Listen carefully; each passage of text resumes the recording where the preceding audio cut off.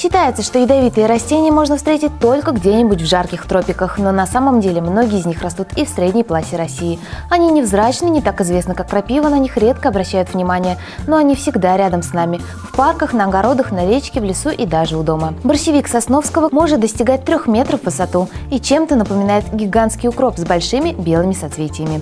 Сок борщевика содержит светочувствительные вещества, которые даже под слабым действием ультрафиолета могут вызывать серьезные повреждения кожи. Особая опасность заключается в том, что прикосновение к растению в первое время не вызывает никаких неприятных ощущений.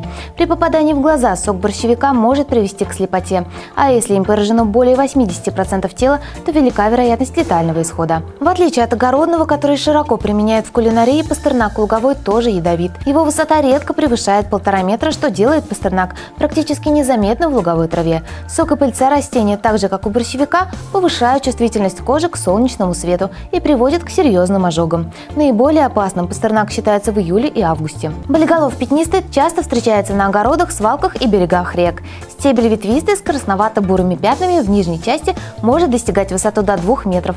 Мелкие белые цветки собраны в многочисленные соцветия. Характерная черта болиголова – тяжелый и неприятный запах. Важно знать, что все части растений ядовиты. Они содержат алкалоиды, которые могут вызывать судороги и остановку дыхания. Кто из нас не слышал о таком растении, как лютик? Его можно встретить на берегах прудов и рек, заболоченных лугах и травяных болотах. Он часто попадает к нам в дом с букетом полевых цветов. Растение чрезвычайно опасно своим едким соком. На коже вызывает ожоги, а при попадании на слизистые сильные чувства жжения. В более тяжелых случаях может произойти поражение нервной системы. Дельфиниум из семейства лютиковых давно известен садоводам и ценится за долгое и красивое цветение. Но работать с ним можно только в перчатках. Дельфиниум содержит алкалоиды, которые очень опасны для организма человека и животного. Попадая внутрь, они повреждают центральную нервную систему, нарушают сердечный ритм, вызывают отравление. Крупные белые, розовые и сиреневые цветки ясенца никого не оставляют равнодушным. А когда появляются плоды, коробочки с блестящими черными семенами, он начинает пахнуть, как цедра апельсина.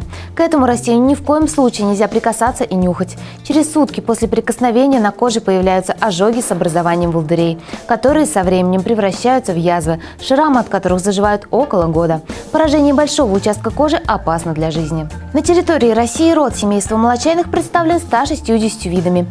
Все они содержат едкий млечный сок, который и дал им название. Молочай не только выращивают в комнатных условиях, но и используют для украшения сада. При контакте с ним нужно быть очень осторожным. Если немного надломить ветку или лист, можно получить серьезный ожог, незаживающие язвы и воспаление. Попадание сока на слизистую глаз может обернуться временной слепотой. О том, какие еще ядовитые растения встречаются в нашей полосе, расскажем в следующем выпуске программы «Жить легко».